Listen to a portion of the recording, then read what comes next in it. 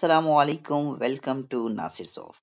In this video, I'm going to show you how you can fix the XAMPP MySQL common error that is MySQL shut down unexpectedly. Okay, uh, this error message basically popping up uh, after some uh, time in my computer okay and i have some important database inside my XAMPP and if you are basically worry about the database's data. So don't worry in this video i will uh, show it to you how you you can fix this type of error. This is very simple okay? So the first step is you need to go to uh, your install directory of XAMPP okay? In my scenario my XAMPP is installed inside my c and inside the, here you can see that the XAMPP folder is showing okay so inside the XAMPP okay so here we will go to the MySQL folder. Okay this is the MySQL folder and inside the uh, MySQL folder so here uh, we will fix this uh, issue. Okay so just follow my step.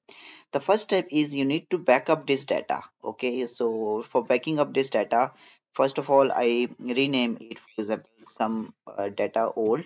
Okay and I copy this folder this whole folder. Okay and uh, inside my desktop or anywhere I paste it okay? I will show it uh, to you why you are doing this okay? So basically uh, we need to back up the data okay? So basically we'll play to the data folder. So this is for the security purpose okay? Uh, so this approach is good. So after copying the data to the desktop okay this is data old I again rename it to data okay? And cut from here and similarly go to this MySQL and here I paste this okay? So now we have uh, we basically uh, we have our old uh, data okay? So we backup it okay?